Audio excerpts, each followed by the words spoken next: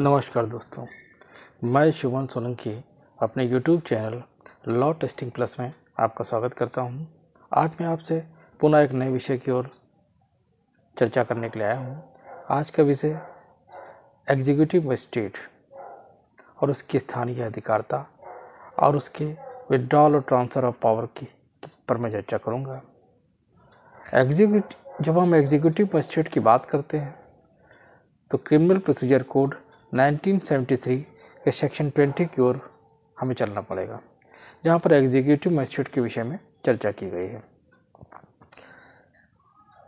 उसके क्लासों में बताया गया है, in every district and in every metropolitan area by the state government may appoint as many person as he think fit to be executive magistrate and shall appoint one of them to the district magistrate राज्य सरकार प्रत्येक ज़िले और प्रत्येक महानगर क्षेत्र में उतने व्यक्तियों को जितना वह उचित समझे। कार्यपालक मजिस्ट्रेट नियुक्त कर सकती है और उनमें से एक को जिला मजिस्ट्रेट नियुक्त करेगी।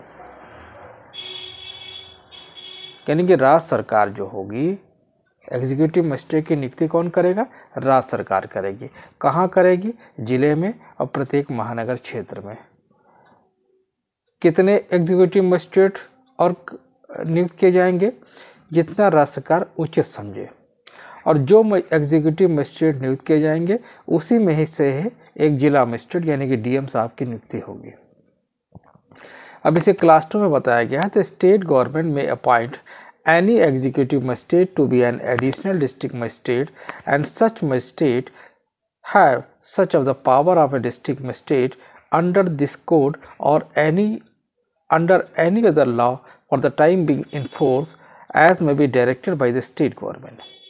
राज्य सरकार किसी कार्यपालक मजिस्ट्रेट को अपर जिला मजिस्ट्रेट नियुक्त कर सकती है यानी कि पहले कार्यपालक मजिस्ट्रेट की नियुक्ति होगी फिर उसी कार्यपालक मजिस्ट्रेट में से राज्य सरकार जो होगी किसी कार्यपालक मजिस्ट्रेट को अपर जिला मजिस्ट्रेट यानी कि एडीएम नियुक्त करेगी और ऐसे मजिस्ट्रेट को इस संहिता के अधीन, यानी सीआरपीसी के अधीन, या तत्समय प्रवर्त किसी अन्य विधि के अधीन, यानी कि एनी अदर लॉ के अंतर्गत जिला मजिस्ट्रेट की वो सब शक्तियाँ प्राप्त होंगी जो राज्य सरकार निर्दिष्ट करे। यानी कि एडीएम साहब को डीएम साहब की वो सारी पावर होंगी जो स्टेट गवर्नमेंट डायरेक्ट करे।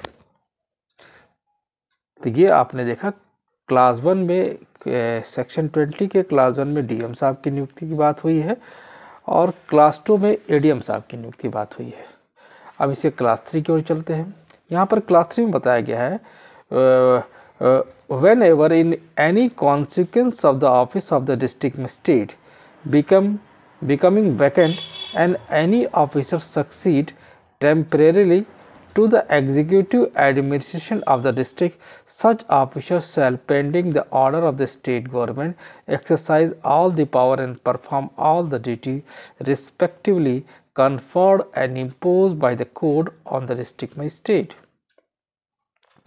जब कभी किसी जिला मजिस्ट्रेट के पद की रिक्ति के परिणाम स्वरूप कोई अधिकारी उस ज़िले के कार्यपालक प्रशासन के लिए अस्थायी रूप से उत्तरवर्ती होगा यानी कि अगर डीएम साहब का पद रिक्त है तो उसका जो नीचे का जो उत्तरवर्ती होगा, वो कालपारक प्रशासन के लिए अस्थायी रूप से उत्तरवर्ती होगा।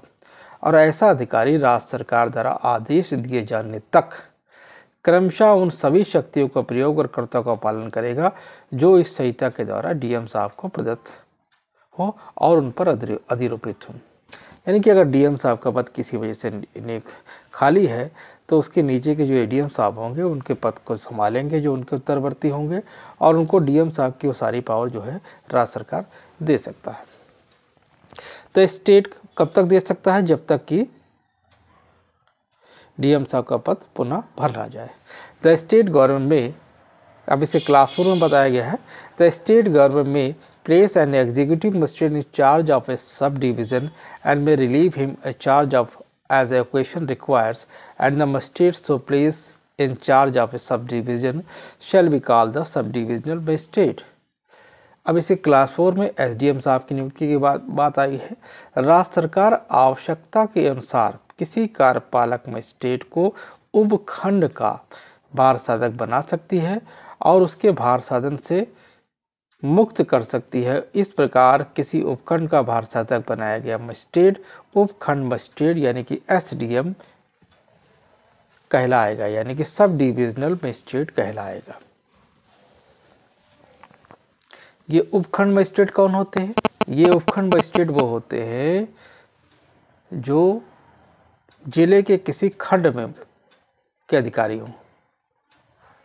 तो जो ज़िले के अधिकारी होंगे, वो डीएम साहब होंगे।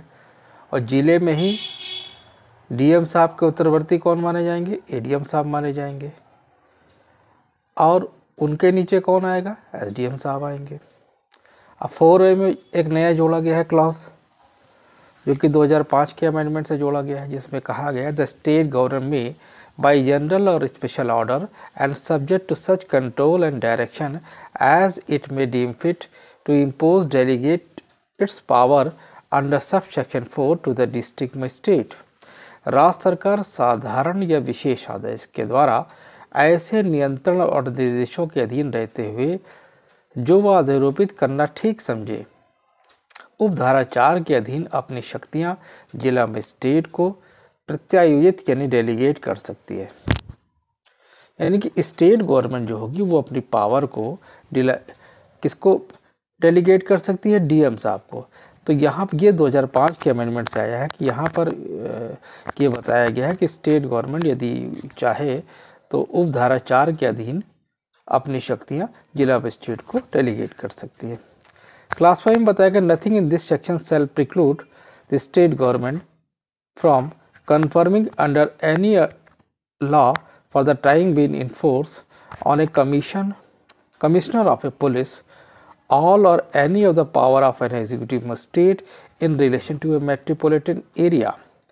इस धारा की कोई बात तत्समय प्रवर्त किसी विधि के अधीन महानगर क्षेत्र के संबंध में किसी कार्यपालक मजिस्ट्रेट को की सब शक्तियाँ या उनमें से कोई शक्ति पुलिस आयुक्त को प्रदत्त करने में राज्य सरकार को प्रवृत्त नहीं करेगी, यानी मना कर नहीं करेगी। यानी कि सेक्शन ट्वेंटी की कोई बात स्टेट गवर्नमेंट को कोई बंधन नहीं डालेगी कि वो पुलिस कमिश्नर को कोई पावर डेलीगेट करने में।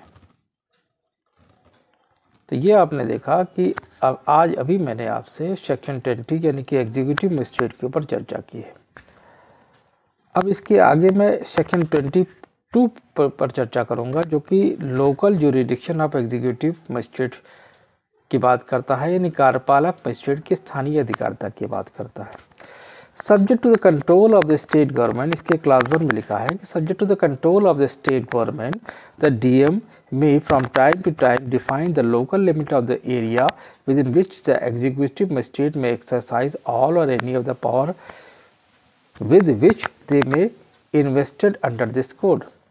राज्य सरकार के नियंत्रण के अधीन रहते हुए जिला मजिस्ट्रेट साहब समय समय पर उन क्षेत्रों की स्थानीय सीमाएँ निश्चित कर सकते हैं जिनके अंदर कार्यपालक मजिस्ट्रेट उन सब शक्तियों का या उनमें से किन्हीं का प्रयोग कर सक कर सकेंगे जो इस संहिता के द्वारा, यानी कि सीआरपीसी के द्वारा उसको दी गई है।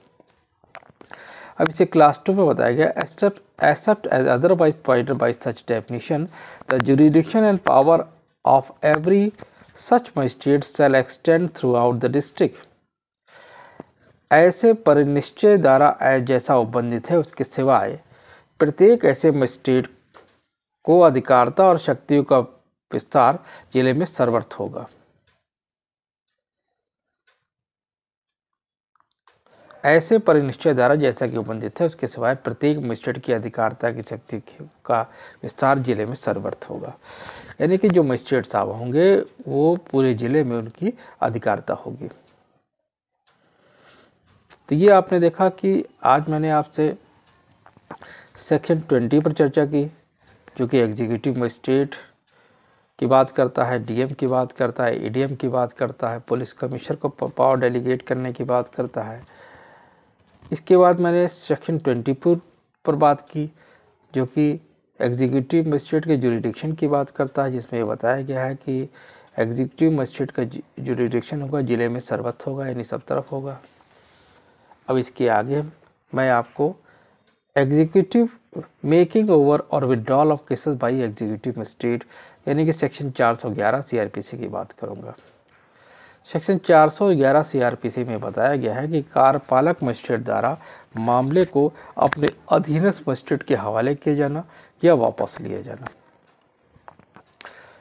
यानी कि any district magistrate or SDM may make over for disposal any proceeding which has been started before him to any magistrate subordinate to him कोई जिला मजिस्ट्रेट या उपखंड मजिस्ट्रेट किसी ऐसी कार्रवाई को जो उसके सम, समझ आरंभ हुई हो चुकी हो निपटाने के लिए अपने अधीनस्थ किसी मजिस्ट्रेट के हवाले कर सकता है।